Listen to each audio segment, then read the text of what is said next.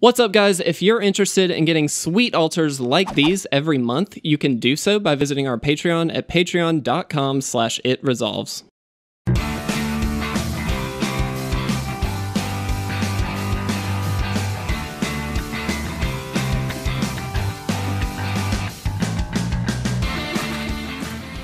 welcome back to another episode of It Resolves. My name is Kevin. My name is Will. Thank you for tuning in, watching, or listening, doing it however you're doing it, where you're doing it.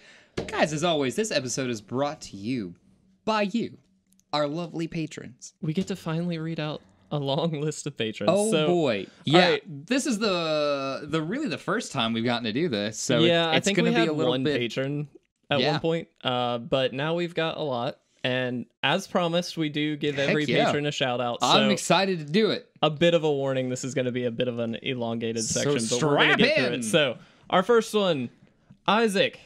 Thank you for being a patron. Milo. Milo what? Milo Manson. My man. Good luck.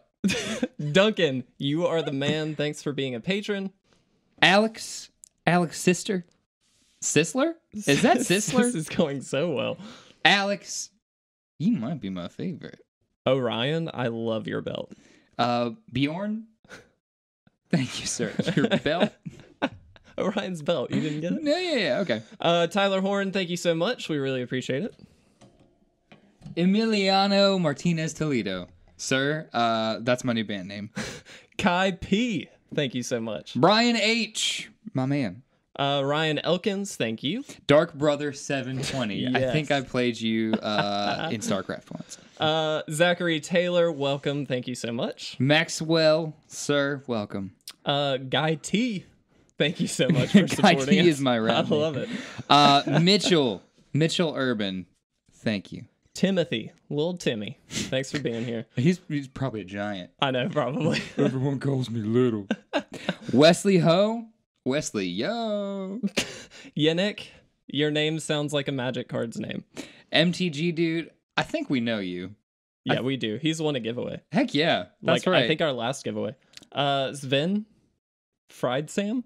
I hope I'm saying that correctly. yeah. Thanks for being here. Sure. Justice. Ugh. Timmy Smith, number two. Thank you for being here. Anthony Sanchez. We appreciate it. Jeremy Hayes, we're glad you were with us. James Everidge, a champion. Joseph, is that still? Yeah. Joseph still? Thank you for being still. Tristan, a legend. Carlos, all right. Kelly, just Christoph, you're rounding us out with 31 patrons. Guys, thank you. Genuinely, I know that was a little long, but thank you guys so much for being a patron of our channel. We really do appreciate it. If Love you are Yeah, interested in becoming a patron, the link for our Patreon is down below.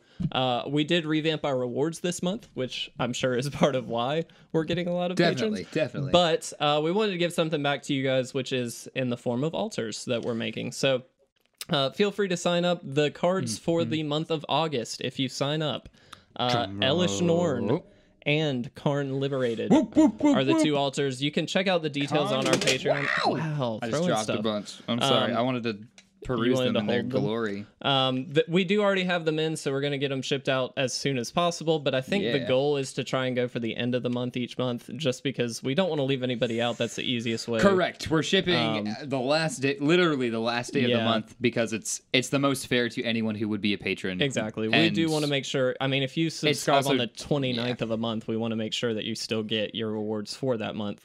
Uh, and so that's the goal. Uh, but we do already have those cards in for you, so we're really excited about that. Right. It's also just easier for us. It is. It's To- just kind just of a to one-time thing instead Right. of like just. We'd rather do it all at once, but um, Yeah. you, you we will obviously uh, be sending all those sweet cards out. So Yep. get ready for those. Yep. Yep. Awesome. Um. So Kevin, you ready to talk some magic? such an intro. I Uh, loved it. I know. I'm- I mean, it I'm was fun. Uh, hopefully, I'm, I say hopefully, but I guess not. Hopefully, the the Patreon list won't be quite as long to thank. But I also Hey, want if more we get Patreon 30 more new so- patrons, I will I speak their love it. name to the heavens. Heck yeah!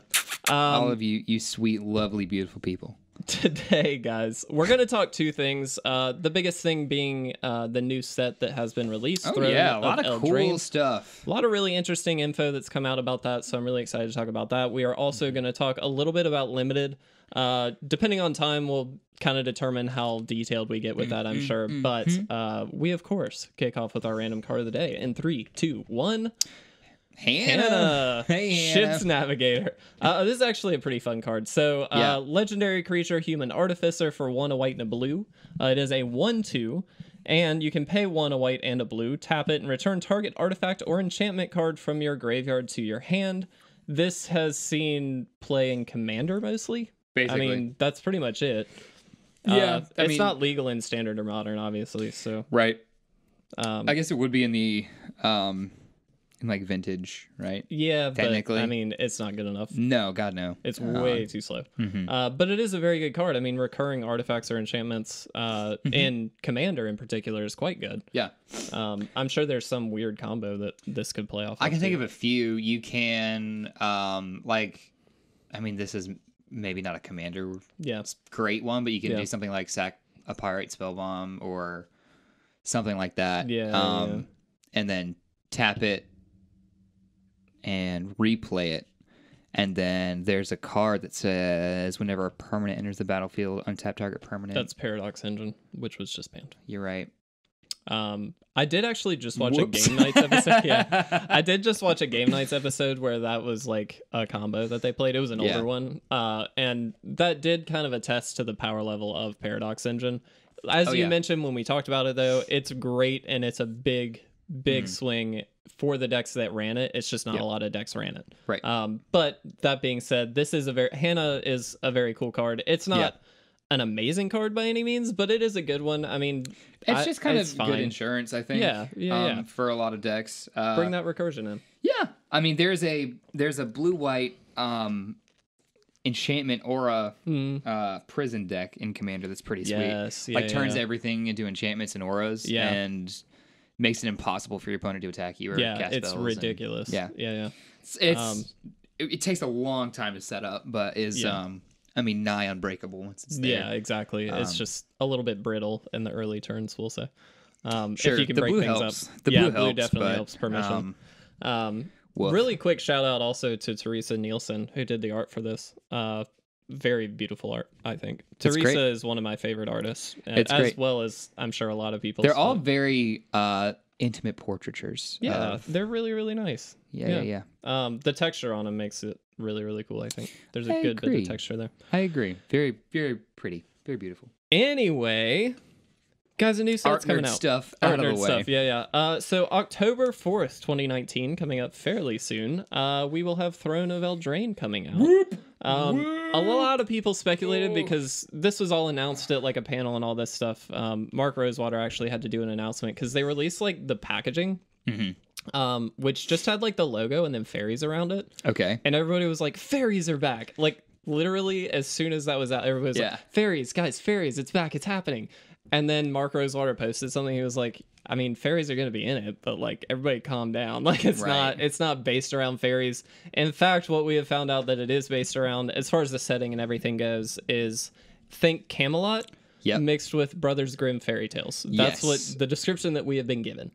Um, it seems that seems already that seems dope. alone seems pretty cool. So Yeah, yeah, good. yeah. Uh, we have seen some of the art on some of the cards already, and it's really, really Mm-hmm. sweet. Um, I I love it. Uh, I I've think only seen the little girl. The little girl is like brutal. though. Yeah, Yeah, it's pretty intense, right? pretty awesome. Um, no, there's a few other pieces of art that have been released, um, as well as some info on the Planeswalkers, which uh, are Rowan and Hmm. Yeah, the, and the brother sister combo yeah, yeah, from Battlebond. Right. Um, but there's also supposedly another Planeswalker in this set that we have not gotten much info on at all yet. Is it new? Do we know if they're new? I don't know. We have no idea. Uh, here's I just want to make a callback okay. to when War of the Spark was coming out, Okay. and everybody was wondering where Garruk was. Oh, hey, where's uh, where's he at? where's he at? That's not a bad call. So a lot of I people mean- are speculating that it's gonna be a brand new planeswalker. Like they think because Would make perfect sense. it would make fair. perfect sense. So for anybody that doesn't know, this is a one-off set. This is gonna Yep. be the only set on this plane, uh, Right. as far as we're understanding. So far. so far, that's It's, I the mean, only one playing that we get this year. It's the only yeah, one yeah. so far. Um, but uh, the, nobody is, I don't think, confirmed whether or not the third planeswalker is one that we've seen or not seen. So it could be Garruk. I mean, I, I don't know. I mean, he. So He's we just were. rampaging through the woods. well, that's the thing. This deep, dark, scary wolf, woods. dude. Yeah, it's Big Bad Wolf right there. so, not not only is that just kind of cute, but Yeah. yeah. um, Mark Rosewater also explicitly mentioned whenever people were speculating about Garruk, and he he said no, he's not in this set, but we have big plans for him. yes. Were his words. Yeah, yeah, yeah. So I don't know if that's because you know, I mean, Magic plans things decades at yeah. out. Oh, yeah. Like They've got a few years. In I say decades, but like It's usually two to three years in advance. yeah, They're- it's a while that they're they ahead of us. Yeah, exactly. So, um, I'm I don't know that this is when we see him again or not. Right. But I mean, Right. he is. I'm expecting him any day now. Yeah, I mean, in the next, I would say within the next year for sure, we're going to mm-hmm. see a Garruk. I don't know oh, where. Of some kind, yeah. It, I don't know if it's going to be in this set. I think it actually. I mean, I didn't think about it until you said it, but I do think that that makes a lot of sense. Like that's a cool way to bring him back in. Is like Right. he's just rampaging through all of these fairy tale things and like all this stuff. Like that'd be Right. kind of badass. I'm kind Right. of into that. Right. Um, I don't I'm know. saying. I mean, it would make some sense. I would say It would Um, be like mm, I don't think it would be too much of a it's not a sell. stretch. Right. Yeah. Right, right. Like I could buy that. Yeah, me 100%. too. Um, But regardless, uh, really, really excited about this set. They've released a lot of marketing info on this. Kind of more than I'm used to for Yeah, well, there's sets. more marketing stuff than there usually is with this as well, fair. which is kind of interesting. So I wonder if they got a new marketing director. I don't know. like, I know. think about- So Mark Rosewater did say that, and I don't know if this is in reference to the story and Mm. like the setting of it all because it is a, such a cool, rich story kind of idea. Um, or if it is in regards to the marketing stuff, or both, I don't know. But Mark Rosewater did say he'd been fighting for a lot of these, like the things that they're implementing in this set. He's been Yeah. fighting for for quite a long time, and so I don't know if it's like he was selling them on the story, or if he was selling them on the marketing ideas, or if like they're justifying some of these marketing ideas from Hmm. Yeah. previous stuff uh, because a lot of it is definitely stuff that some of it we've seen before and some of it is kind of new and like the way they're doing it is different but Yeah, I don't know how much he has to do with like the marketing of things. i don't know either And said, I, I don't know I know he's definitely. I mean, he talks about in his drive to work a lot about yeah um de- the design of sets and stuff. So Yeah. I, and I mean that's his that's his thing. Right. Like, clearly that's his thing. I don't right, right, know right, if he right, has. Mm-hmm. influence on the marketing stuff at all. You know what I like I don't know if that's what he was fighting was the marketing team. You know what I but mean? you think like the Mythic Championship is huge. A lot Yeah. of money went into that. Yeah. Uh, as being their pr- the premier Magic like circuit basically, and it's new. thing. Yeah. You yeah, know. yeah. Uh, so all the money that goes into uh, you talk like about a, arena. Oh, I like it too. I like it a lot. Day nine hosting, I'm in. Sean Plott, Oh, man. give me more of him. Rough. Uh, kind of a rough week for Sean Plott. though. Yeah, we lost. yeah, yeah. We lost one of our good we buddies. lost a good streamer there. Um, Um, he was more than a streamer, sir. sorry, Geoff Robinson. None of you guys know who he is because he's a StarCraft host. But I know of him, but I I don't he know was him well. the best. Just a moment. He was the best Oh. StarCraft two ho- esports host ever. Period. End of subject. Fair enough. Uh, Geoff iNcontroL Robinson was R.I.P. Gone too soon. Will be missed. Uh, he was definitely. very young. He was very cool. uh, regardless, uh, bring it back. Um, what was I saying? Uh, the A lot of Mythic. Championship Yeah, is great. yeah, um, yeah. But yeah, I think the. I mean the. The market marketing team has kind of gone ham over at WotC. Yeah, and I'm like I'm happy about it. Like no, it's great. Yeah. So the thing is, it. okay, with this set in particular, like, and some of the stuff that they've announced, which we will go over in a second, but a lot of the stuff seems like it's aimed towards players who actually care about the game. uh, is the best way I can phrase it. uh, yeah. Instead of like, hey, we need to do like planeswalker decks and like all these like intro level products, which Yeah. no, realistically that's a good kind of suck. I Yeah. mean, they still have them. I'm that's still gonna happen. But like they're also now pandering to people who are like more collectors and like people who want premium cards That's and like things like that. yeah. And like I'm fine with that. Like I'm in that camp. I don't really give a crap about these planeswalker decks. Like I think anybody who like would listen to a Magic podcast, so friends they among care us, enough. right? They've been around enough to kind of know, yeah. um, what a worthwhile product is or not. And we, I mean, we will usually open these things, and we always have the same thing to say. These are lots of fun. If Yeah. you're new, they're great. Yeah. If you're not new, they're going to be a little bit disappointing. Yeah. Um, and I mean, I will say this though, there have been a couple of occasions where we've done that where it's been like, okay, these are not high level cards. Mm-hmm. These are very easy. These are very clear strategies and stuff like that. But they were fun. So even if you were an experienced player, mean, they yeah. could still be fun. I mean, guys, it's magic. But that's like, not the target. Like the target is the new player. sure. And there's not really many there's never been huge like big standard staples in these decks. Like they're not valuable. They're just they're just there for intro stuff. You know what I mean? they're and like there that's kind like of at the edge of your Target, Yeah. Walmart like yeah, yeah. checkout thing to say, Like, hey, tempt me, buy me. right. Um, which I'll be honest, I usually do just because I like sealed stuff. And it's the only reason I kind of am okay with them right now is because they do, while they're worse planeswalkers, it's the only place to get certain planeswalkers and stuff like that. That's a point. It's a point. It's not worth it. I'll go ahead Hey, and say It's fun. it's definitely not worth it. But To I like sealed own, product. man. Um, Some people like Dude- crunchy peanut butter. Some people are wrong. Like to each their own, man. It's fine. I like both. Um, I li- I will eat both. I prefer crunchy. I like crunchy. I've never met anybody else that's For like, I love crunchy peanut butter. Bro, that's my. We buy two different Do you peanut just want to like each get a jar of peanut butter and eat it on the podcast? That is frequently my. Just- oh God, we've never talk. That'd be terrible. That'd be so bad. Have you seen the No. video of of Rhett? Uh, No. No, I'm sorry. It's Link. He Oh. eats a jar of, of Peter Pan peanut butter without drinking milk. Oh my god, It's like a little terrible. like ASMR, like oh minimalist. my god, that's bad. It is such a cool video.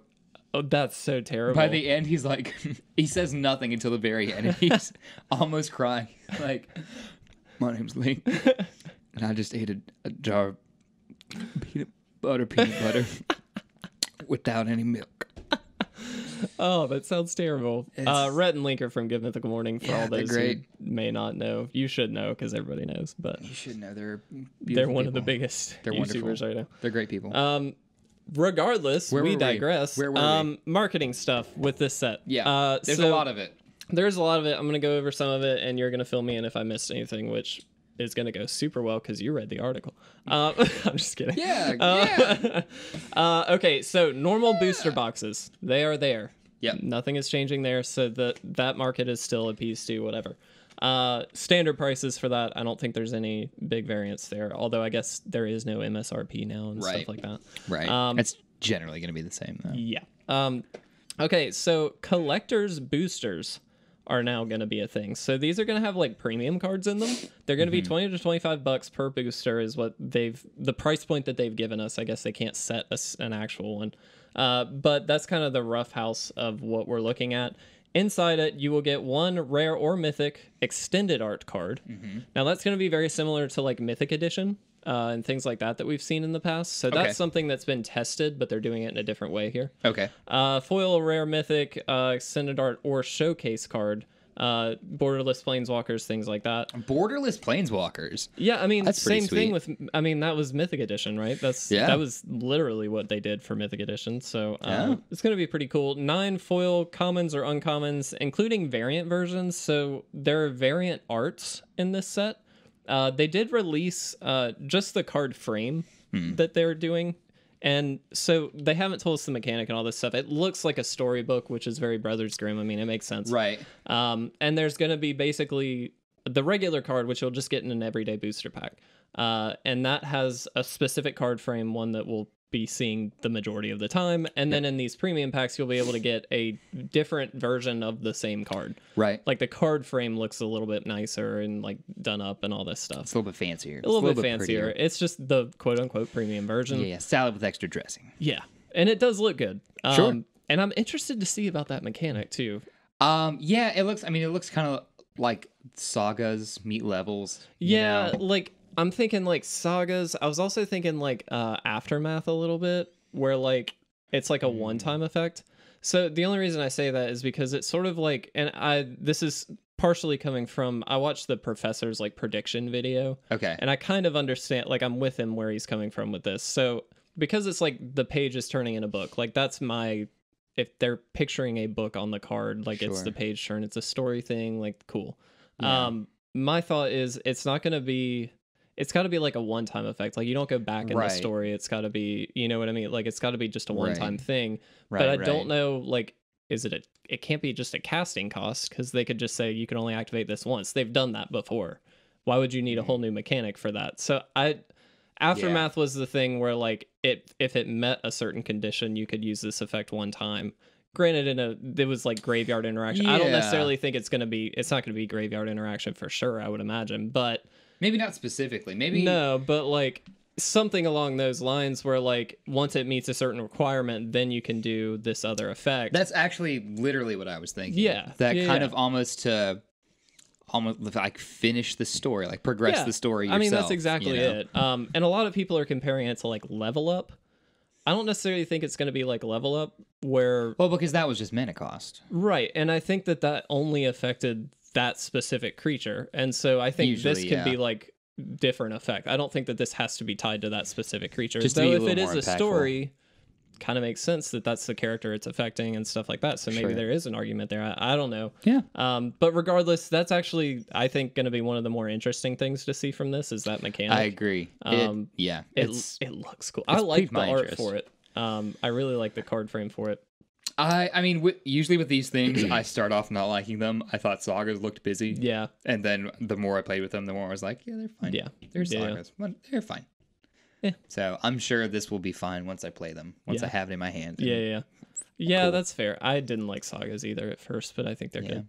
Uh, Well- he, the professor actually did predict that sagas were going to be in this set. That would make sense. I think It's a storytelling element, Right. I mean, I like lot of sense. sagas as a concept. I think they work pretty well. as a storytelling element. Yeah, I didn't think they would be all that like. I don't want to say good like in gameplay because Mm. obviously like History of Benalia that's just gonna be good, but like right, but Mirari Conjecture 2 was good. I mean, yeah, that's what I'm saying. But like, I didn't expect them to be as impactful as they were. I guess is what I would say. Um, Sure. because they were pretty impactful. I mean, we I saw a lot. were of them. I, I mean, I was convinced after the fact for sure. yeah, Um, and again, like you said, I think as a storytelling element, they're great. I think they were perfect. they worked very well. Um, I did not. I was not a fan of the like art. I liked Right, the art busy. style itself. Like the stained glass art thing was really cool, Oh, and I some of them and stuff yeah. like that. And like the art looked good. It's just you could barely see it because it was tiny. I see what you're saying. like Right, that's the part that I was I wasn't like 100 percent about. But once I again once I started playing with them, it was I still cool. yeah. yeah. They just seemed like neat cards, you Yeah, know. definitely. Um, but no, I really like them. I like that mechanic a lot, yeah, yeah, a lot, a lot. I think they can use it. And what was cool using it in Dominaria, um, again, is like a one of. Yeah, set. We're yeah. Just visiting it for a second. Uh, they do get to kind of use it again, yeah, like out yeah, yeah, yeah, in the wild west of Magic's designscape, you know, yeah, yeah. which is cool. Um, Definitely. Um, yeah. To finish up what's in these packs, also, uh, three non foil special frame cards. These are those showcase cards or borderless planeswalkers as well, Mm-hmm. uh, just in non foil version. And then one non foil ancillary.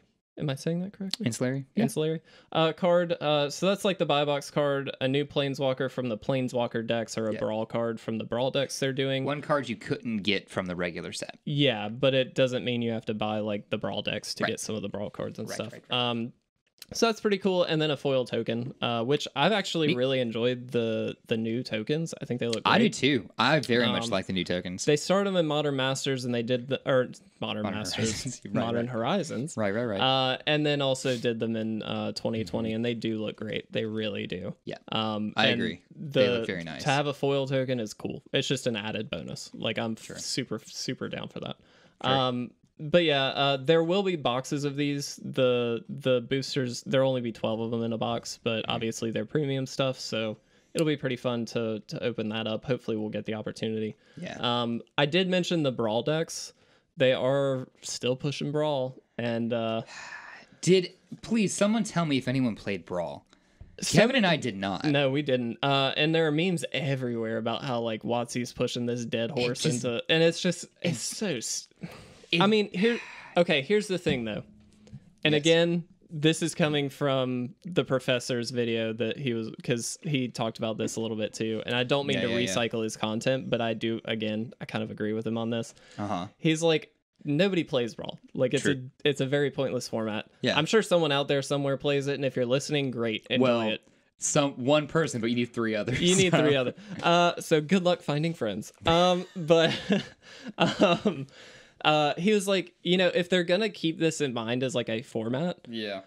it's kind of okay because all that means is we get more cards and some of them will be viable in like commander so like who cares like if I they're mean, gonna keep pushing it as a separate product that's fine because there will be brawl only cards and things like that Right. like it's fine it's it doesn't hurt anything to have it it's just really dumb to have it like that's my take Yeah. No, it doesn't hurt. Yeah. I mean, I agree. It doesn't hurt anything at all. Um. All it's giving us is extra cards which i can't complain about Right. you I know mean, what that's fine. Right. Uh. They just, just- they just gave a perfectly good kitchen table format anxiety is all they did. Like they made it so complicated. You're so right you're so right Like Oh two-headed giant didn't need any help. I'm gonna be honest, but oh my god that's really funny um it's fine though. If if they want to keep throwing money at brawl, that's cool with me. That's fine. I, I'm maybe one day I'll play it. I well, okay. If there was an event going on yeah at Grand Slam or something, it's like brawl night, yeah five dollar entry, nothing crazy. I mean, I'd be like, Kev, we should We should probably let's go play play. just for funsies. But then I have to take time to build a brawl deck. I'd have to remember what like brawl specific rules there are and all that. yeah, it's just that's too much work. Oathbreaker is kind of taking off though. People are playing a lot of Oathbreaker. In brawl, No, no, no, that's a separate format. But it's like it's are sort of like? Commander. Do you know? I mean, do you know what Oathbreaker is? Okay, so I don't. I it's no similar idea. to Commander, but your Commander is a Planeswalker always. If I'm understanding this, please correct me in the comments because I haven't played it yet. I've just heard a lot about it, and Never a lot of people seem to love it. Okay. Um, but your planeswalker is basically your commander, and then your planeswalker has a signature spell, quote unquote, that you also lay out with your planeswalker commander, whatever. Okay. And so same tax applies to both of these cards, but you can replay your planeswalker as your commander, and you can replay your spell as your signature spell. okay. But then there's the tax on top of it. So like if you supreme verdict, for instance, Is my signature. as your signature spell. Your first Yeah. time you just cast it for normal cost. Next time you add two to it, but you can continually replay it as a board sweeper, which is pretty big impact. You know what I mean?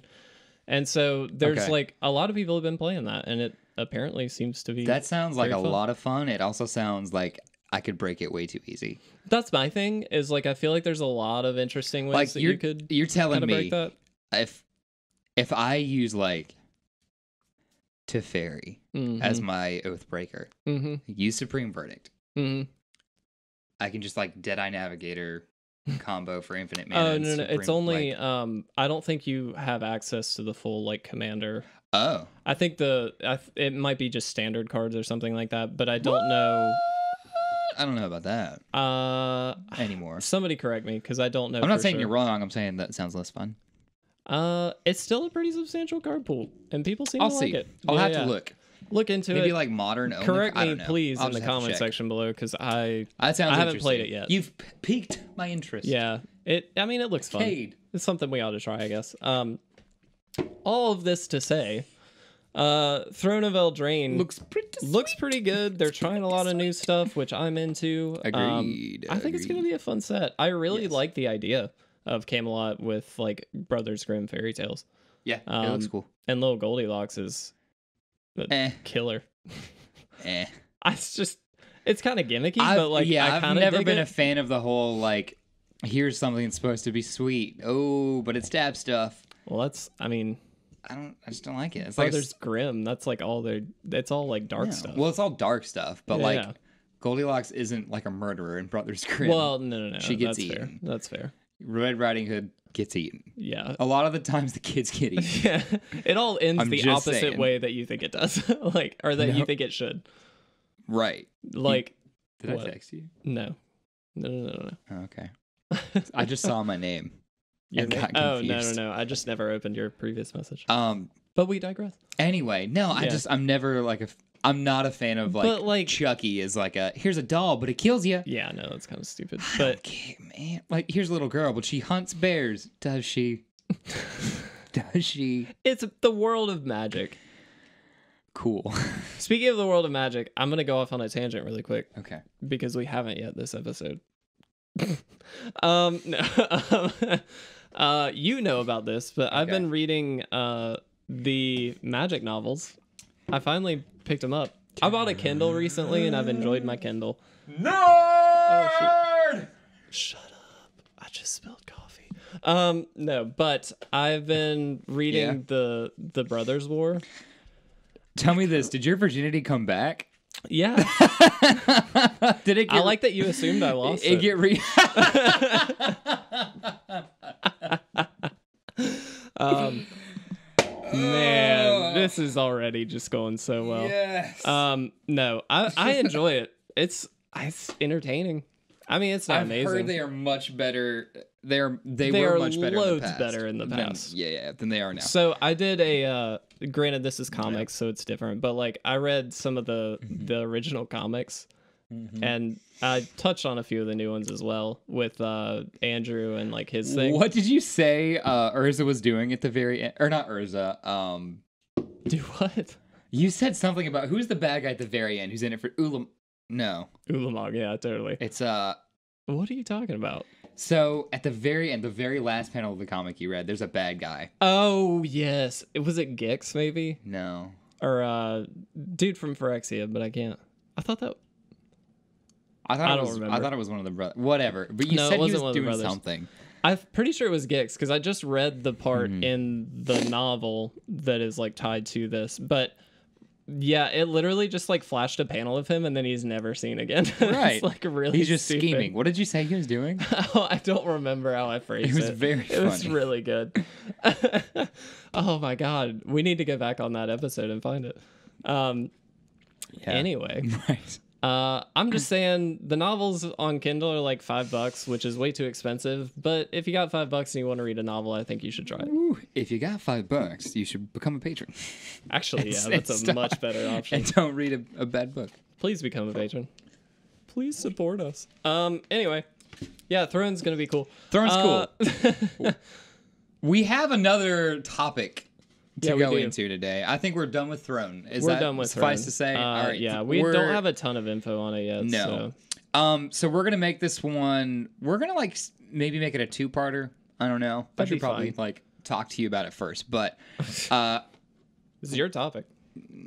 True. So, really quick, we'll just kind of give our uh, our own perspectives about limited. So, limited as a format, we haven't talked about in a little while. Yeah. and we've each been playing more and more of it recently. Yeah. Um, I've been playing a lot of sealed. I haven't done as much Yeah. draft. but- I love draft. Draft is my preferred.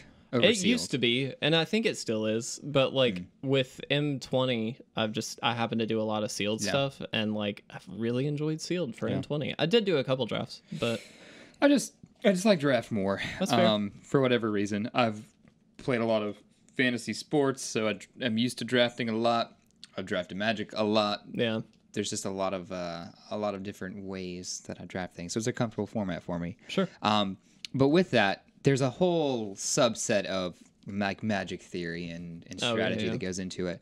Um, then we haven't talked about it in a while. We haven't touched on it about what our favorites are, if anything's changed, if Yeah, you know, it, our recent experiences, et cetera, et cetera. So, briefly, for the people, what we're going to do is talk to you about uh, how, what we like about draft, what we don't like about draft, how we kind of approach a draft. Mm-hmm. Um, and then we're going to draft M20. We're going to do a little, a mock draft, as Yeah. it were. Now we know you guys can't see it, but uh, we do have a draft simulator up, and so we're yeah. gonna run through a pack or two and just kind of Three, literally. three literally, and we're just gonna kind of say some of the key cards in there, and then be able to go through it and stuff like that. So, and we'll explain Hmm. why. But um, yeah, you mentioned some of the things that we. Well, we've talked about them before, but like quadrant theory is one of I think the best tools that you can possibly have Okay. um, in your arsenal for draft. So, draft, in my opinion, is a really good way to like take a card and really like evaluate it at all points of the game, and that's what quad- Sure. quadrant theory is saying you should do. Yeah. And so, correct me if I'm wrong. There's the the early turns in the game. Is this card Mm-hmm. useful in the early turns of the game? Is it useful uh, for board stall position? yeah.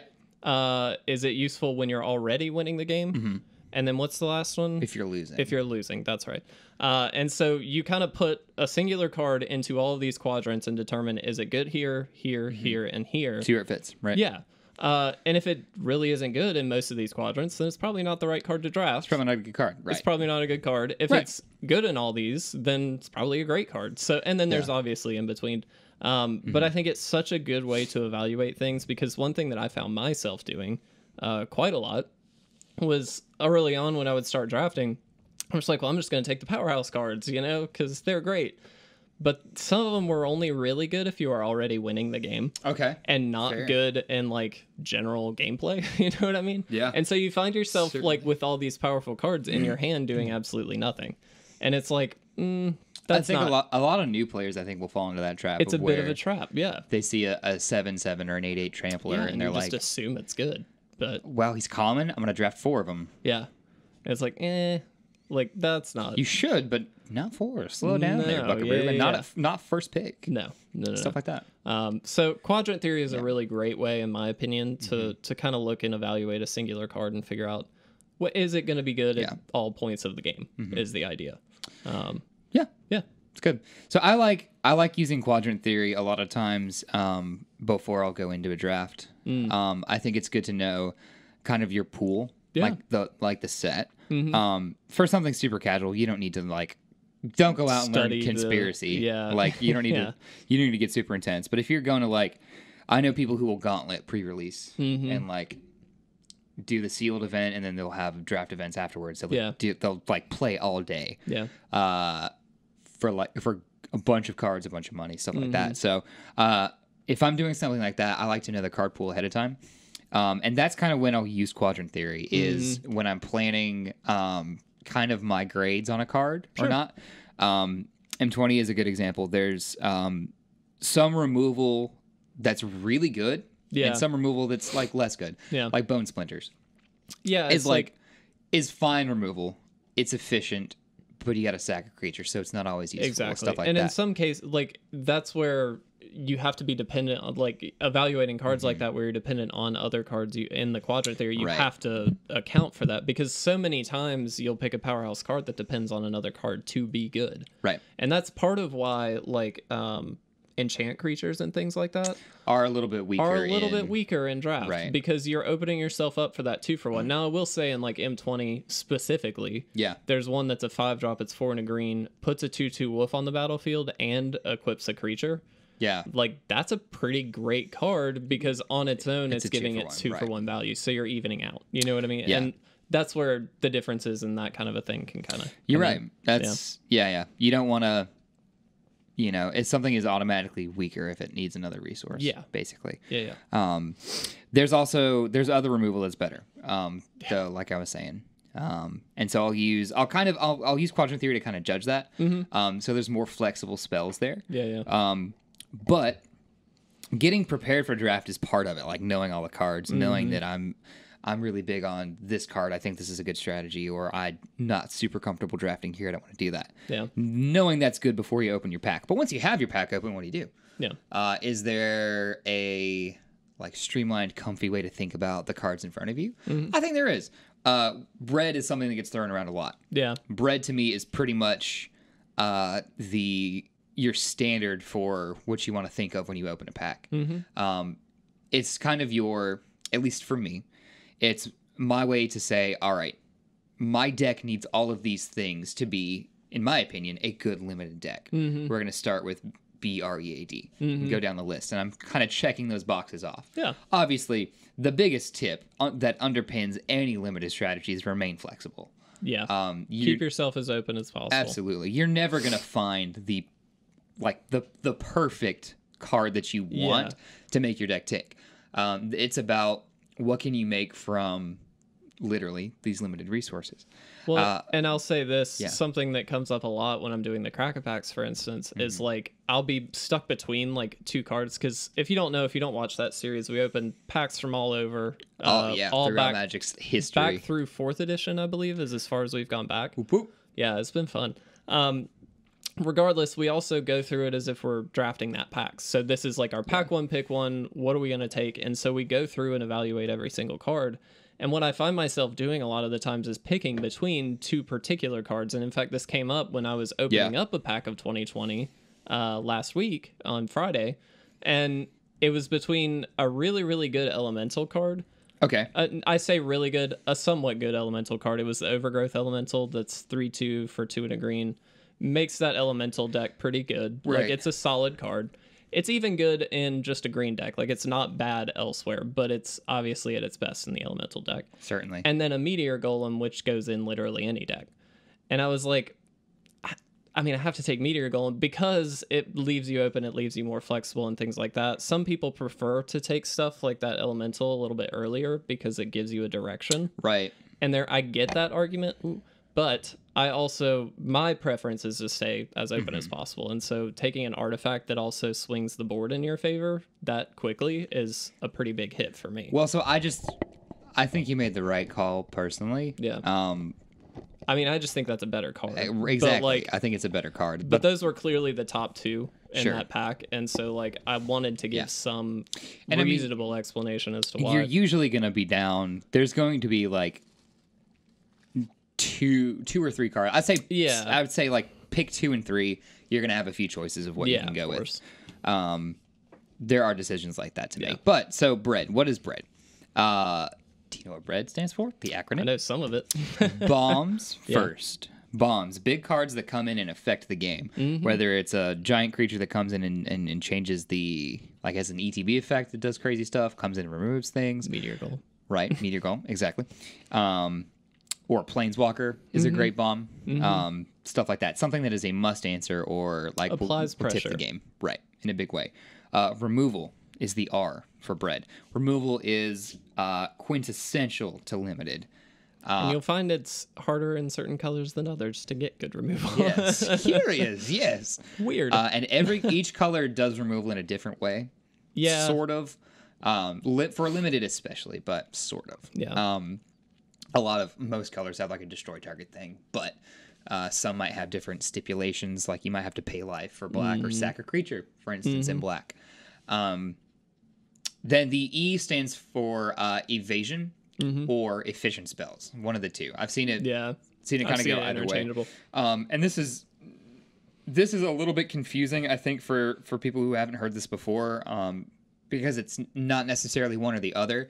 Uh, bread is just a ranking system of like of a valuable card Yeah. and what your deck needs. It needs great bombs, good removal, and then all this other stuff is valued. So evasive creatures are you know things with flying, Yeah. uh, things that are unblockable, things with protection, something that makes it harder to kill. Sets them apart a little bit from Right. just an average creature. Yeah, yeah. It's not necessarily like uh, it's it's not any evergreen ability. It's not like you know I want to get all creatures with first strike and stuff like that. Yeah. no, that's not true. That's, That's- actually coming next technically, but uh, it's creatures that can apply pressure, um, but remain elusive, hard Yeah. to kill. Yeah, yeah. Uh, if they can avoid combat and still deal damage, that's excellent. Um, Pingers. That's why pingers are so good. Exactly. A. Uh, the A stands for aggro, aggressive creatures. Mm-hmm. Um, this is where you'd fit uh, vanilla dudes, two twos for two, three threes Yeah. for three. Um, cards that, while don't do anything special, just Yeah. provide a valuable body, something to think about. Um, you are going to win the your game of limited on the board uh, 99.9% of the time, I promise you. Uh, it probably won't come down to a combat trick. I have burned out somebody once in limited. Uh, we flung somebody out. We did, bro. Mono mono red. Yes, mono red fling. and it worked. That was well. heck of fun. That was very very fun. We're not family friendly anymore. That was fucking fun, dude. that was great. Yeah, was I forgot time. about fling. Fling is an excellent card. Yeah. Um, I mean, um, yeah, yeah. You're right though. Um, but aggressive creatures for A. This Yeah. is your hasty boys first strike. Double strike isn't a league of its own. That should be Yeah. valued much higher than Yeah. a lot of other things. But uh, regardless, this is the the category where these guys are going to be dangerous. Yep. Then you have D. D is drag. it's trash. Dr- Yeah. D is the stuff you get past that you never play, that you're going to cut, that you know you're going to cut yeah.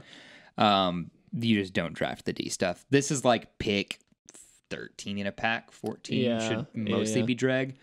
You, if you're getting drag and like you're on pick like nine, ten, you should maybe. It's either a crappy either a pack or crappy your deck doesn't or- have Yeah, direction. you're not in a good place. Yeah, yeah, yeah. Um, that's always a good signal as to like Yeah. if you don't know what you're doing by that point, mm, maybe you should Sure. um, and I will say this, not to go backwards too much, but uh, with your aggro point uh, curve consideration, in particular with M20, I mean, any limited set, it's going to be very, very important. You should always consider your curve, uh, which just means that you want like a couple one drops, a few more two drops. Three and four are going to be like your big kind of the majority of your deck, most Yes, likely. Definitely. And then from there on out, generally speaking, you're talking about bombs, and you definitely want some of those, but you don't want them to be the majority of your decks. So you No. you end up with this like bell curve, upside down bell curve, however you want to look at it. But um, I forget what it's called, but there's a big word for it. yeah, yeah. Um, but regardless, in in core sets, not only M20, I Hmm. will say that is almost more important than anything else. The curve? is just having a good curve, uh, because so often, and I've found this to be very, very true with M20 in particular. If I just curve out, even if my threats aren't amazing, they're Yeah. still threats, and a lot of times people just don't have anything to play. And Right. like in a core set where things are a little bit underpowered because it, I mean, it's the intro set, like that's kind of the idea Yeah. unless they just happen to get a really big bomb, you can oftentimes just win by curving out. And like Yeah. it almost doesn't matter what you're playing at that point. Like, that is it's one that's one reason why I prefer to draft um my my two favorite ways to draft are Yeah. either blue white flyers because it's Mhm. usually an archetype in a lot of right sets now. um or uh Rakdos aggro stuff. So I uh not to get into too many specifics. It's fine. Uh the blue white flyers deck is really sweet Yes. in M20. If But it has a flagship uncommon, which is a whole other thing to that is about. a whole other thing. You should look at your uncommons and see the flagships, especially on a core set. yeah, do that. We'll do that ahead of time. Yeah. Before you draft, you want to know what the you need to know the are. archetypes, Yeah, yeah. like 100%. Uh, but honestly, I found green red to be like Yeah. way overpowered. Hmm. Like it's just super super strong. There is a green red elemental. yeah, is it the, that it is or- the elemental deck. Okay, which yeah, it- yeah. I mean, it generally falls into the elemental deck, and there is blue that can also be splashed in. Um, but like if you can get a solid green red deck, like the the four drop brawler. The two four that just gets buffed for every other elemental you have Oh, is yes. like ridiculous. Yeah. and there is a little combo with that goblin thing that makes it unblockable. Right. It's sweet. There's a bunch of Anyway. yeah. Elementals is pretty strong. It's real Um, good. That is also our only like I drop things. uh the elementals is our only like I'd say sub standard, not substandard, but like alternative kind of archetype. You know, we we don't have another tribe, you know. Uh, in M20. stand. Oh, in M20 in twenty. M20. In standard there's a bunch, Yeah, but I was gonna say like for limited. You know, sometimes you'll have like a vampires, a Yeah, I mean there zombies or like whatever, but yeah, there's like a small vampire theme, but like not really though. not if you have enough. Sorin. Yeah, that's the thing. Like you have to have Sorin. But Sorin's really mythic. good. Yeah, Sorin's just a bomb. you don't actually. Yeah, I played with Sorin one time. Mhm. Um, honestly, a little underwhelming and limited. Still Did- good. Did you have vampires? Uh, I didn't have enough to make him great. Um, and that was the problem. But Yeah. like without that vampire support with Sorin, it's like, eh. I Mm-hmm. mean, He's he's, good. alright. He's very Yeah. good. You should play him always. He's che- a cheap planeswalker, but like, yeah, not great. Yeah. Let's let's get into this mock Yeah, draft a little sorry, bit just to put some meat to our words here. So we are looking at from M20. Planar cleansing is our rare. Manifold key. God's willing. Aether gust, and then we get into our commons. Uh, infuriate, gorging vulture, convo- convolute, leafkin druid, blade brand, Scorch Spitter, befuddle, lavakin brawler, wolfkin bond, soul salvage, thornwood falls. So first thing to do is look at your rare always. This is where you'll find most uh, bombs. this pack. I don't love this pack either. This pretty pack is pretty bad. Yeah. Um, so th- the first thing that I'm gonna look for then, if I don't have a crispy rare, is do I have any bombs? Well, should we talk about? I mean, the rare is not. I don't think the pick here. I right. do not either. That generally speaking, I I mean sweepers are very powerful effects, but in limited where you're also going to be playing a lot of creatures generally, Right. I don't find them to be as one-sided and as powerful as you would expect them to be. right. Um, that's not always the case. There are going to be instances where it'll be good, but like generally speaking, I I don't find it good. And our uncommons here, the manifold key, very underwhelming. It doesn't do that much in limited. God's willing, actually okay, but not great. I've seen it played in a few decks. I shy away from it. God's Willing is super. Not pick one, but God's Willing is very, very good. Yeah, just to be able to Um, protect something is good. And then Aether Gust, very, very specific. Uh, it's much more of a sideboard card. Yeah. There's a whole cycle of just like really good sideboard hate that you should pick up, but not this early. Um, So sure. there's really not a great pick here. Um, I would go Brawler, I think. Uh, the Brawler is brawler, the Lavakin Brawler. the Lavakin Brawler. Mhm. Um, I don't want to overstate it by any means, but it's such an aggressive four drop. Uh, if you're Yeah. in the right deck, it's fantastic. Having like we have the Scorch Spitter uh, in here as well that we would hope to either wheel or the Leafkin Druid, which would also be quite good. Yeah. Uh, to help follow that up, but like I just feel like that's such an aggressive four drop. Yeah. Uh, that if you can pick up a few elementals, it's going to be at its best. No, I agree. I think for four, it's fine. Um, it's tacking for three every turn, which is great. Yeah. Um, it's good enough. Uh, Not great to start off with a common. Definitely pick. not. This is not the this is not the pack that you want to see. No. Um, now, a quick note: planar cleansing is excellent, but to Kevin's point, it destroys all permanents. This is great if you're losing the game. It is terrible in every That's other exactly. instance. Yeah, that's exactly so right. not awesome. So that'll be our pick. Yep. Next, Leyline of Abundance made it through, but that's not great. So bad. Uh, so we got Goblin Ringleader, Barkhide Troll, Ripscale Predator, Feral Abomination, Winged Words, Inspiring Captain, another Leafkin Druid, Bone to Ash, Feral Invocation, Mind Rot, Healer of the Glade, and Dawning Angel. So, uh, we. I'm interested to see what you think. So I'm looking for any removal now, um, just because that's Yeah. the next yeah, thing yeah. that I like. Um, I don't see any. No, I I'm kind of between two cards. Now, since we are already in red, a Goblin Ringleader is a great card, but it's not necessarily an It's excellent card in limited. So no, it's not. it's not awesome.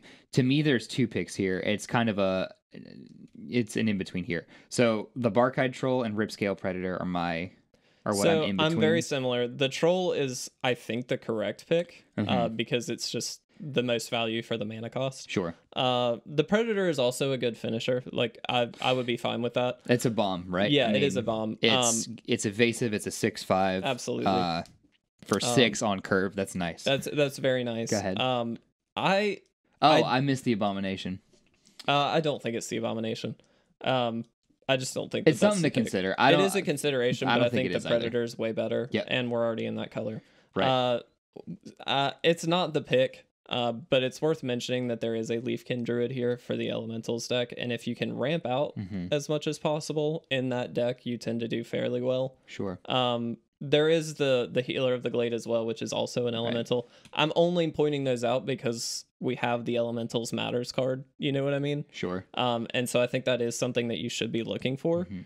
But I do think the Barkhide Troll is the most value for the mana cost, and it's just a very strong two drop. Like, I think so as well. Um, however, the Predator really has my eye since they're already in those colors. Mm. Um, but you do want to think about other bombs and what you'll probably see Barkhide Troll's an uncommon. that's the Rip thing. scale is a the. Predator you expect to see probably coming back. Maybe not coming Not back, in this but pack, like but at some point you'll probably It will be drafted, so Yeah. we will lose on that. But I think the Barkhide Troll agreed is the right choice. Um, if not just to put us in uh, like Gruul aggro stuff. Mhm. Um, wow, Leyline of Combustion is our crazy.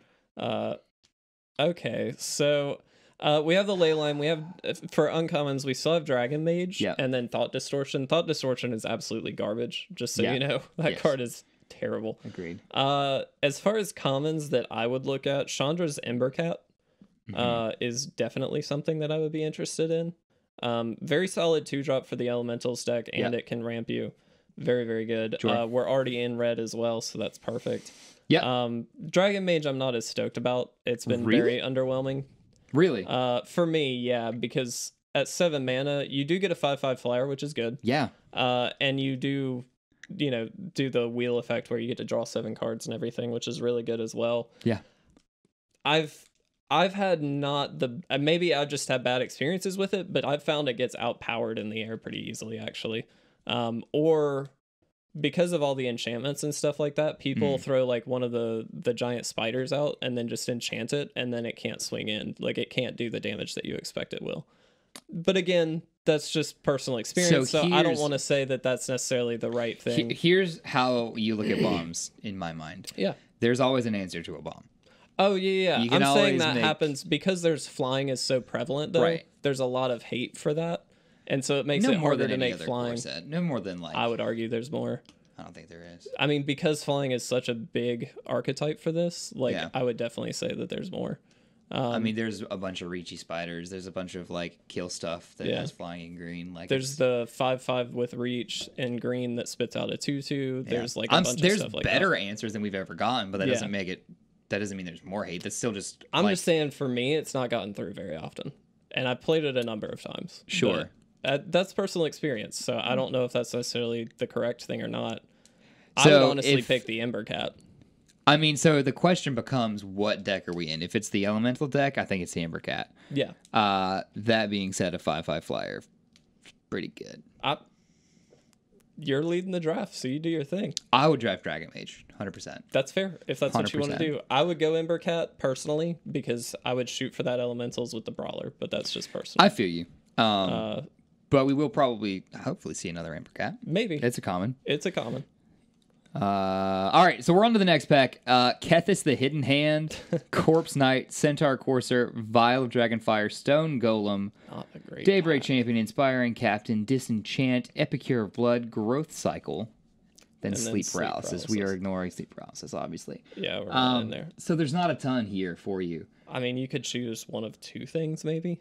It's Courser or Stone Golem, really? Uh, I was thinking Courser. The growth cycle is a fairly good combat trick. If you can pick them up, one or two of them, you're pretty well set. Um, I think that's actually the pick here. Do I think that's the pick here? I would maybe go Courser just for curve stuff. Yes, I think it's Courser Um, actually. As I'm, Growth cycle's fine, but you can usually pick those up pretty late. yeah, I don't want a combat trick. It's a combat trick. Yeah. pack, pack four. Yeah. Okay. Um, Well, speak of the devil. Mammoth Spider. Yeah, that's who I was thinking of. Mammoth Spider's in so many Yeah. core sets though. He's in like Oh no, I know, but there's a, lot more enchantment stuff in this set, which people tend to throw on the spider, just because it can block flyers. So you got Um, Scheming Symmetry, Fencing Ace, Mammoth Spider, Infuriate, uh, Sage's Row, Denizen, Dagger, Sail, Aeronaut, Disenchant, Negate, Stone Golem again, and some Skeleton Boy. I mean, Mammoth Spider seems like the clear Yeah. pick to me. Um, the only other option would have been the Acrobat, but I don't love that. I think it's a pretty bad card. The Aeronaut, this guy? Aeronaut, excuse me, You're not the fine. Acrobat. Uh, Um, three, yeah, this is It kind has of pseudo flying, yeah. I don't like this card. but yeah, Um, it's pretty bad. a three two for four um, with flying sometimes. A three two for four with flying, I think is fine. It's okay. pseudo flying though is not. No, agreed. Yeah. Um, so I don't like it. Yeah. Um, I. So the spider is a consideration. Let's check our curve real quick here. I mean, we're fine. We're to, early in the pack too. I mean, early in the draft. I yeah, yeah, say, we're fine to pick the spider. I think it's just a solid card. It'll block for enough of stuff. And generally, you'll stuff. go late enough that Yeah, yeah. that'll be fine. All right. Next pack: uh, Sleep got- Paralysis, Unsummoned, Sorcerer of the Fang, Feral Invocation, Ferocious Pup, Moment of Heroism, Negate, Undead Servant, and Destructive Digger. I There, there's really two here. there's two, right? Um, yeah. Okay. I'm gonna no. I'm gonna be honest. Pup is a trap. Um, he is not a trap. for three. I promise you, he's not. So the reason For being, three, though. no, no, no. Uh, there's um, oh, I can't think of the card. If it's a synergy, There, no, there is a synergy thing, but it's a very easy synergy to pull off, and I can't think of. Uh, God, I'm trying to think of it. Regardless, I found it to be quite good. trap is a trap is a little bit aggressive. Yeah, Uh, I definitely think that's aggressive. ferocious ferocious pup isn't that good though. I think it's definitely better than you're giving it credit. I don't think it's amazing. It's still So just it's a, a- three drop, It but is like, a chump blocker and a two two. yeah, That's it though. no, uh, fair. And I'm all. not saying it's amazing. I'm saying I- it's better than you're giving good. it credit for. It's not better than Feral Invocation. I will guarantee you that. Okay, So Feral Invocation is an enchantment with flash for yeah, the same that cost gives you as plus two plus two on a creature. Yeah, yeah, yeah, yeah. Yeah, yeah.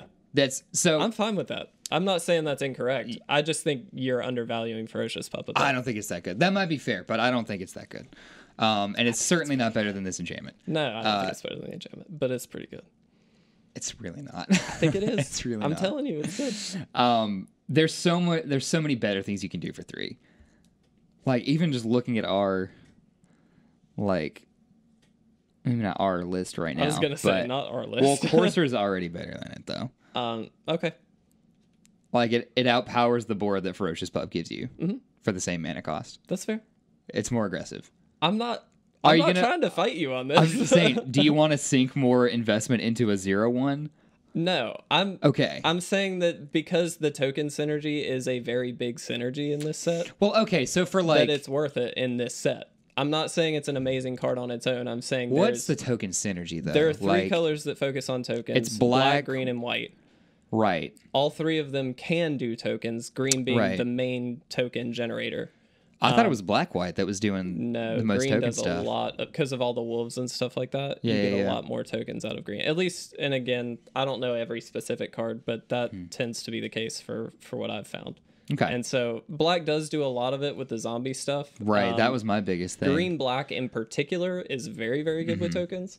Um, and I've found just like being able to spread out your board like that is Yeah. really really good in this because where where I've found a lot of the games to go, and I think this is pretty similar for most score sets, is you get Uh-huh. for a little while, for a few turns, you tend to get into a board stall position, and then you have some kind of go wide effect if you're in that deck generally that puts Okay. you over the top. Um, and so having just more bodies on the field Mm-hmm. and then having that go wide effect is what makes it good. I'm not saying you shouldn't rely on other cards. I get that, so I understand taking the invocation over it. Oh, 100%. Hundred All percent. day, every I'm not. day. I'm not opposed to that, but I'm just saying if you were in that deck, which we're not, then I think the ferocious pup is pretty good. The quality of the body is really bad.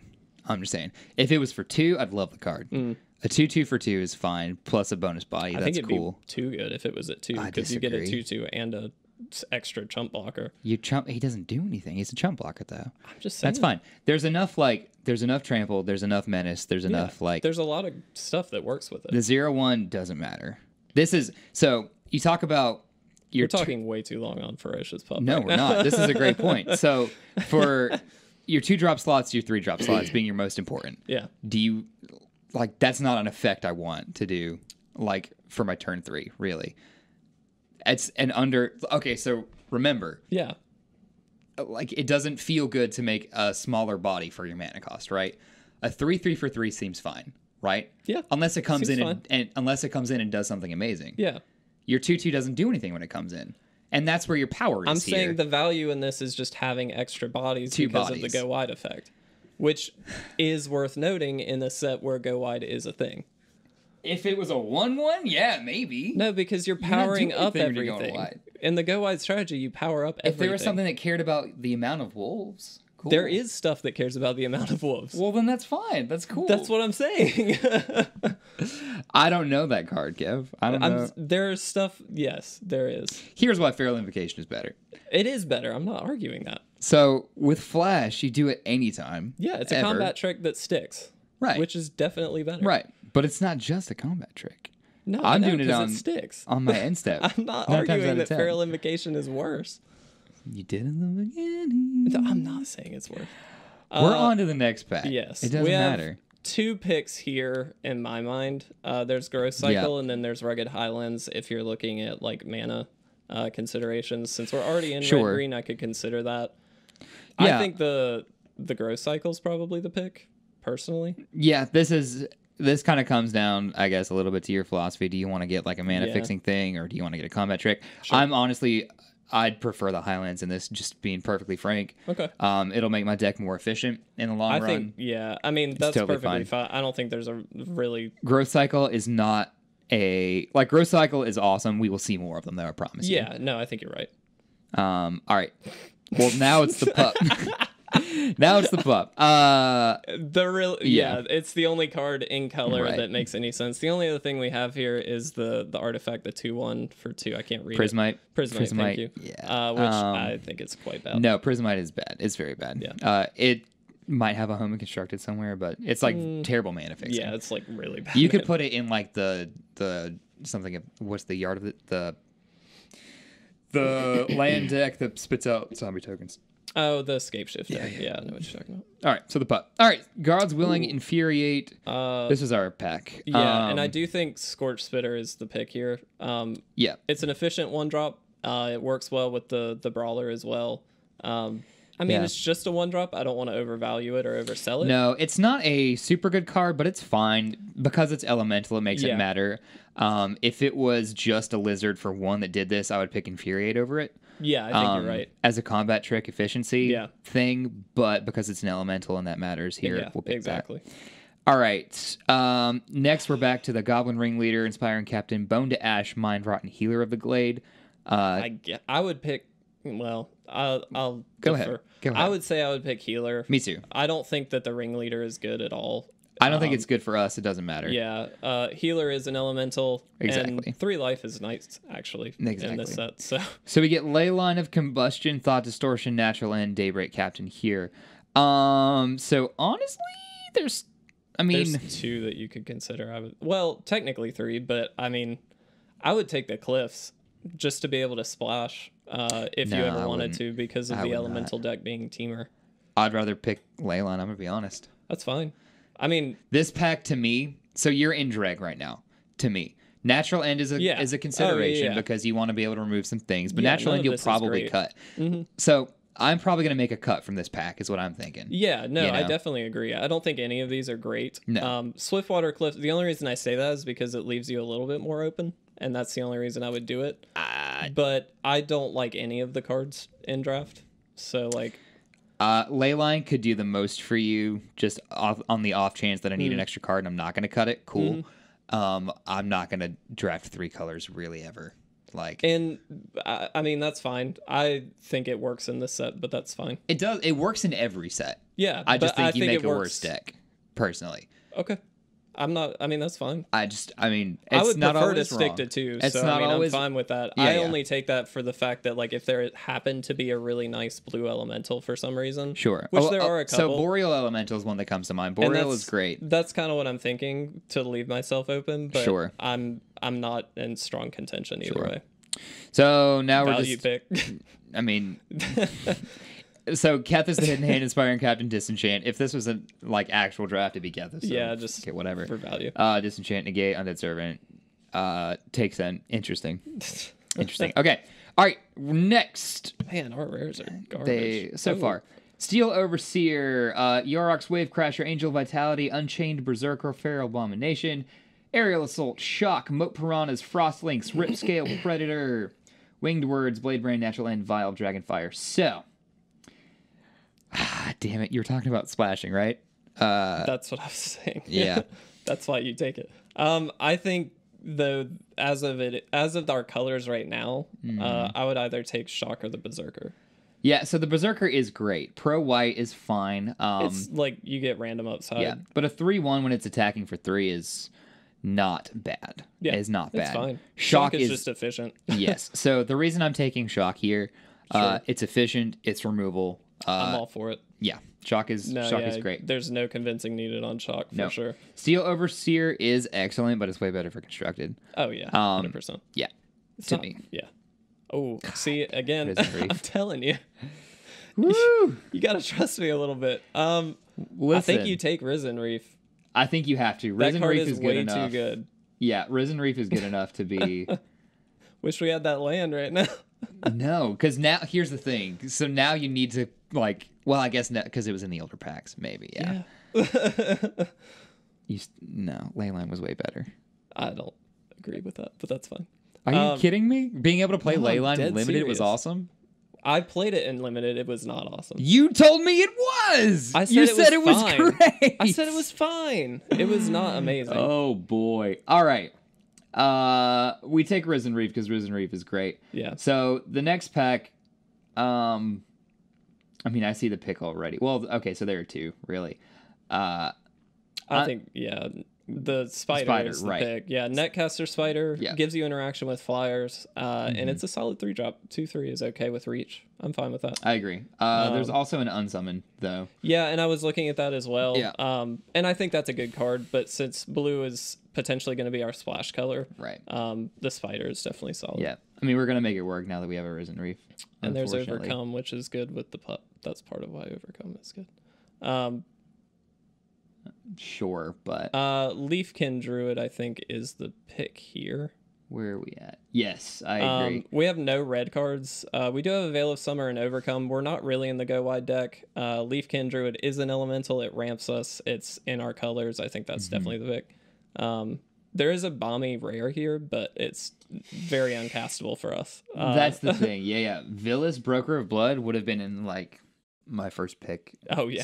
if it was in our opening pack, Right. we would have been in a very different draft right yeah, now. yeah, yeah, yeah, yeah, yeah, yeah, Um, yeah. But Leafkin Druid is very good. It stalls out early, like it stalls the game a little bit. Yeah. Um. So I'm full, I'm fine with that. Yeah, I like it. I like Leafkin Druid. I like Rule of Law too for Commander, but not here. No. Um. Okay. Overgrown Elemental. Oh wow, it. yeah, hundred percent. We do have another troll, very good card. Uh, we have a Wolfkin Bond, which I think is an okay card. It's not amazing. Uh, again, not in this deck for sure. No. Um, active treason, good, but yeah, overgrowth elemental. Yeah, hundred percent. All day, every day. Uh, Lightning Stormkin is good. God's willing, raise the alarm. Silverback Shaman, Octoprophet, uh, which is a great name. Steadfast Sanctuary, Moreland, blah blah blah. Maniacal Rage, Mammoth Spider, blah blah blah. All right. Um, so Silverback Shaman to me is the right one Uh, to do. yeah. I mean, the Lightning Stormkin would be great. Uh, because it is an elemental. It's a two-two with haste and flying. Oh no, yeah, we're in this. I think we that's should get probably better. Um, it's just harder to cast. Let's look at that curve real quick. Uh, well, it justifies us more getting blue stuff, yes, it does. and it's an elemental for Yep. two. I think that's the right pick. Uh, I really like Silverback Shaman though. I'm, Silverback's good. I'm super big on on the Shaman. A five four is a not a negligible. A neg- Yeah, blah, blah, blah, blah, blah. You can't ignore it. Uh, when it dies, it replaces itself via a card. is great, but Yep. no, no. I'm in a hundred percent agreement. Um, now I'm looking for green, like just for the team elemental Uh, stuff. So Yeah. Do you pick? So okay, there's I know what you're Dragon Mage. ask. Yeah, I don't Um, know if it's correct. There's a Gift of Paradise, which technically can help fix you and ramp you. I don't know if that's 100% correct. Um, there's a Greenwood Sentinel, which is an OK tutu. Um, Yeah. those are really the three picks here. There's Infuriate and uh, Natural End, but those I don't think are anywhere close. I think it's the Sentinel for curve's sake. Whoa, Oh, all right, I guess it is. I guess it is. uh, I do, I do. I think it's a Sentinel for curve's sake. Um, I'm gonna make the same pick here, uh, because what does our two look like? What do we have so far? for two is not a lot. So the troll, um, the, The Sentinel one now, Sentinel, the the, Leaf Kindred, Leafkin and then the The Stormkin Stormkin. or Stormkin. Yeah. Wow, skin. So uh, another sentinel here. So I'm I want to look for a or uh, efficient spells now Mm. to give my creatures some punch because I'm gonna find better creatures the next pack as well. hmm Um, but I need bodies for those spells to affect. And sent- Greenwood Sentinels are fine. They're two twos with vigilance. Mhm. Um, they're excellent for green decks. So I'm gonna pick plenty of those. Um, all right. Oh, We have I mean- Predator or Highlands. Um, So y- I would be more apt to pick the dual land if it was blue and then another color that we're in. You know yeah, what I, mean? don't think we picked the blue land here, but you what you don't want to run into drafting too many bombs. You don't. Um, Um, you you, really want don't. to- Though I don't know that we have. I we don't. we we don't. We can draft at the predator here. We definitely do. We just have the dragon mage. Yeah. Um, So I'm in for that. the rip scale predator. Bingo bango. Definitely good. All right. Fortress crab, salamander, zephyr charge, maniacal rage, stone golem. drag. Uh, yes. We play mani- I mean, we take maniacal rage. Yep, excuse we me. certainly but, do. We probably cut it though, but Yeah. Oh, perfect. Thornwood Falls. That's what we take. oh, hey, there we go. um. nice. Veil of summer, right? Uh, I mean, I guess Blue or black spell. it's either that. Yeah. I mean, it's not. I don't think any of it's great. Um, no, none of it's awesome, but you control. I would honestly maybe take I convolute, but I don't really like either. You think so? I'm kind of. I don't thinking, think it matters too much. I don't think um, you're definitely not main decking either of them. No, So, I think Veil of Summer is more well ferocious pup over Yeah, Bond. I think yeah. I'm fine with that. for curve and spider. Mana spider sounds good, and then swamp. Your swamp, cool. All right, wow, look our at this, second dude. planar cleansing. This is insane. All right, so we are looking. Um, oh god, I love Vampire of the Dying Moon, but we can't. Yeah, it's a good Um, card.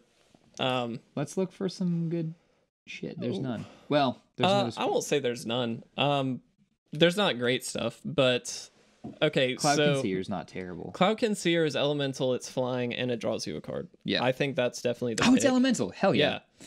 Hell yeah. Um, Cloud Concealer all day. I'll say really quick, uh, quick thing for the Spectral Sailor. Yeah. Um, That's excellent. it's a really good card actually. no, it is Um, yeah. One drop, one one flyer with flash, and then you can also sink mana to just start drawing cards. Yep. Mm-hmm. Like very, very good. But I think we're we're clearly going for elementals. I think Cloud Concealer does that perfectly. So, I agree. There are so many elementals. I'm telling you, dude, these synergies are the thing the thing you need to do. Yeah. Boreal elemental.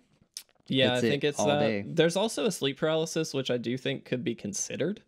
Uh, but I don't think It it's is- better. I don't either. Um We are light on removal, though. I will say that. Uh, there's, I mean, also the True. the guile here or gyre, whatever, uh, is actually a pretty decent uh pseudo. Oh removal. no, we need that. I think that's better. Um, We need that. Uh so Captivating Gyre is one of those giant tempo plays in limited. yeah, Uh this helps in the last two quadrants, which are the most important, winning the Mhm. game and losing the game. Mhm. Uh this helps you with both. yeah. Right. No, I'm I'm 100 percent with you. And board saw. Yep. Captivating Gyre. All day, every day. You so right. Okie dokie. Don't love this. Um, not a lot here. Uh, so we have the Wolf Rider saddle, which is like fine. Um, Pulse of Murasa. Oh, Not, I mean, it's good for recursion if you can recur like a bomb, uh, which does tend to give you enough value that it's worth it. Uh, the courser, not great. Winged words, I would look at our flyer count before saying we should pick that. I know Um, we have one. That's we it, have two. No, the Cloudkin Seer as well. Oh, you're right. Um, yeah, I don't think it's and four, excuse me, the Stormkin. Um, but I don't think that that's enough to make it great. Um, Do we have four? No, we have three. did I say? Right? Dragon Mage, Stormkin is here. Yeah, we have three. Yeah, we have three. Uh, I, I, mean, don't think so either. no, I don't think it's great. Again, drawing cards and is always great. In limited, it's not. It's not as great as No. people think it is. Um, but Hmm. I would honestly either argue that, or maybe the saddle, uh, just because we are going to be pretty creature heavy, uh, and so having a little bit of a buff like that is, it, it is gonna at least in a position where we're playing out similar creatures to the opponent, it's gonna give us a little bit of an edge, just because it's an equipment and it sticks around. Um, sure. not necessarily playable in the deck that we're running. No, though. I think we cut it. I don't love anything from this deck. I think we cut a lot of it. yeah.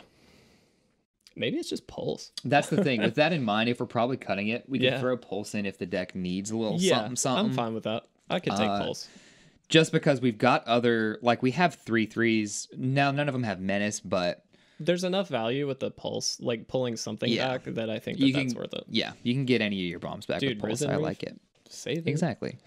Um I would weirdly argue there's two possibilities here: you're thinking plummet or Netcaster Spider. yeah. Um, so plummet only because flyers are so prevalent, since it's like a forced archetype in this set, Sure. where they have like the the actual lord for flyers and stuff. Like people go for it more often. sure. generally you're going to end up against a flyer so main decking one plummet i'm okay with not more than that um but i just because we're so light on removal i would consider it the other option i think is the spider I hear you. Um and, and I i'm okay kind of I think you're right with plummet in that I think depending also on how you're competing here, mm-hmm. uh, if you are, oh Jesus, Hmm. um, we'll speed through this. Okay. Uh, yeah, plummet I think is the right pick. Um, gosh, there's really nothing here for us. uh Kelvin Octoprophet or raider Yeah, i mean they're serve oh actually no i'm sorry temple of epiphany is definitely the pick Mm, we're in yes, those colors I and suppose. it's a scryland so I i, don't would love. definitely I don't love it tapped lands. I don't love You're tapped right. lands, but it Yeah. definitely upgrades some You're of our other lands, so You're I'm okay with that. Uh, creeping trailblazer, definitely the pick. Yeah. Uh, second creeping Uh, trailblazer, definitely again, the pick. yes. uh, I guess yeah. The uh the Thunderkin Awakener. I don't know that his ability is super relevant to us. I don't know but either. it's an an elemental. Right. I'm it might. It. might matter. Um. Sideboard plummet. Sideboard another. I think we have enough three drops that I'm not You're super worried about. right. it. Uh, Cheese kinda be anything. pup. sure. It's filler. Puff. Eeny, meeny, miny, mo, 'cause check course. Value big dimple. Negative. Uh, spider. Yeah, yeah. Sage's Row. Not much in these last few picks, guys. Nope. It's all drag. Um, Um, do we get to see? Okay, we do. Whoa, what am I doing? you're adding it to the deck. Oh, am I? Yeah. Um, Okay. Well, so we kind of hedged our way into a Temur elemental deck. Yeah. I think, which I'm not like super. um, I mean, we got a lot of the pretty good elemental like uncommons. So we got Risen Reef, uh, we got the Yeah. Trailblazer, we got the Stormkin. Um, I think because we picked up Trailblazers. I mean, um, that's like a hundred percent the card we need. So you can you can argue cutting some well, except for all of our blue creatures are elementals. I definitely would argue that yeah, we I need think to like you have to be. we have to be. I think you cut everything that's not an elemental. I mean, that's definitely your starting point, and then you fill Right. in from there. So I'm with that. Um, but uh, yeah, we got a lot of elementals actually, and some of them are really good payoffs. Yeah, Um, agreed. yeah. Agreed. Uh, Risen Reef being one of the like crazy good cards out of this set Yeah. is like one of the best, if not the best, uncommon. all right. So for Um, all elementals, we had eleven ultimately, which is yeah, that's fine. That's pretty awesome. Um, and then from here, I would look at curve and then try and fill out. So there are some definites that we play, like shock. We're gonna play. oh, That's just a great card that needs to get played. Uh. We don't have a lot of like flying, like hate, or at least some kind of way to control that. So I would look at like the netcaster spiders, the mammoth Yeah. spiders, things like that, just to be able to control the air a little Yeah. bit.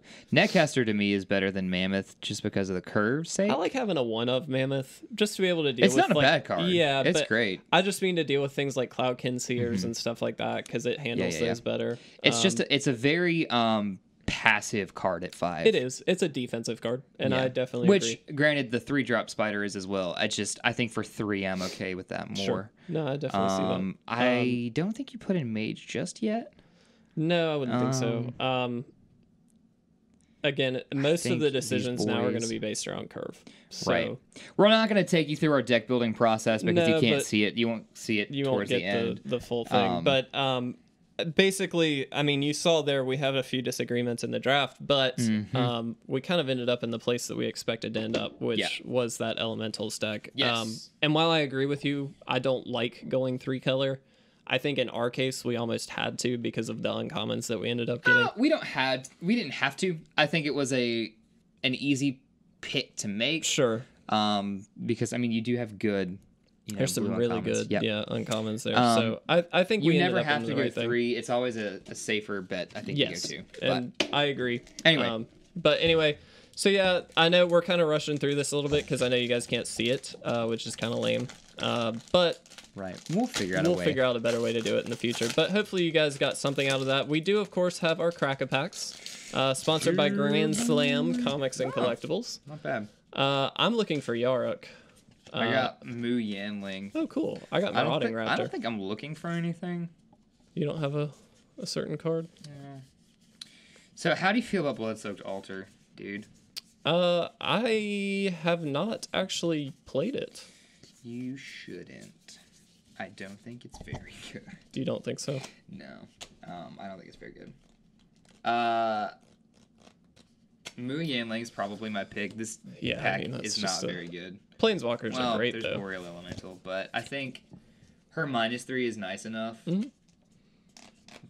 If I can control the board a little bit better, Yeah. you know, if I control the ears, it's pretty sweet. Cool. Um, I don't think the Raptor's a good pick for limited. Um, Really? it deals two damage to everything you play, and unless you have a Oh, lot yeah, of yeah, yeah. dinosaurs, No, it's not right. super worth it. You're right. Um, but I did get an Ironroot Warlord, uh, which is the definitely the pick. I That's did also get like Chandra's Outrage, great removal spell, True. but um, True. Warlord is just such a good card. I have one games just on the back of that card. Yeah, so, dog. Uh, but with that, I think we're going to finally round out this episode. Yes. I know it's a bit of a long one, uh, but we appreciate you guys sticking around. Uh, thank you so much to all of our patrons. We really do appreciate you. Uh, if you're interested in signing up, you can do that in the links below. But with that, I think we're gonna get out of here. So my name is All right. Kevin. My name's Will. It's been it resolves.